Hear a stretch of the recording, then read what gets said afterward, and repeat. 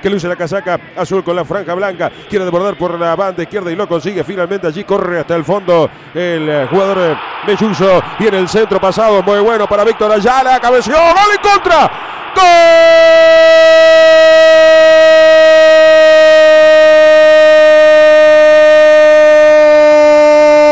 de gimnasia en contra Maidana. ¡Gol!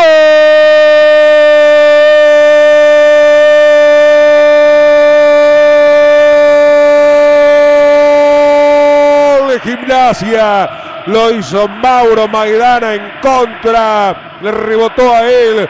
Una pelota bombeada sobre la izquierda. Otra vez la trepada de Melluso. El centro pasado. Qué liberado que llegó el eh, jugador Víctor Ayala. El centro fue muy bueno. Buena rosca. Cabeció Víctor Hugo Ayala. La pelota dio en Maidana accidentalmente. Se mete el arco de Argentino Juniors. Al minuto gana Gimnasia 1 a 0. Insiste otra vez el Lobo. Coloca el centro. Rosales va por desbordando por la izquierda. Quiere Santiago Silva. Atento Chávez.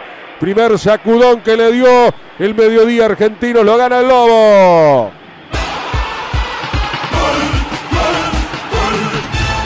Y estas son las cuestiones que nos encantan de este deporte. ¿Se dan cuenta? Cuando decimos va a ser un partido cerrado, en el que a los dos les va a costar. Eso sí, no va a faltar intensidad. Bueno, eso fue lo que le puso Gimnasia para ir a pelear la pelota sobre el costado derecho defensivo de Argentinos con Farabelli, con Meluso. Eh, error grosero de, de Torren por no sacar la pelota hacia el lateral. Hacia el tiro de esquina tampoco, claro. Bueno, lo podría haber evitado, pero no así.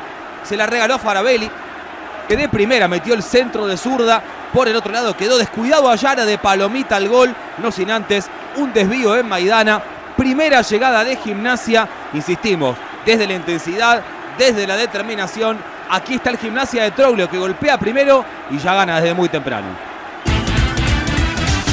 Habrá que buscar hace cuánto en dos partidos en el inicio de Superliga, como fue Vélez y como fue hoy. El minuto fue el eh, minuto goleador. Vélez Gimnasia líderes y el Lobo empieza a pensar en alejarse del descenso. Enseguida repasamos los promedios. Este de hoy, Adriel, incluso